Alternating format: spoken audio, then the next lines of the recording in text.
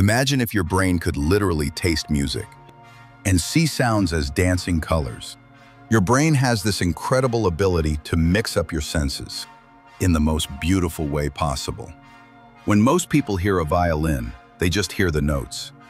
But some lucky individuals actually see swirling purples and golds floating in front of their eyes.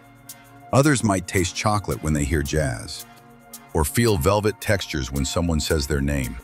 This neurological superpower affects about 4% of the population.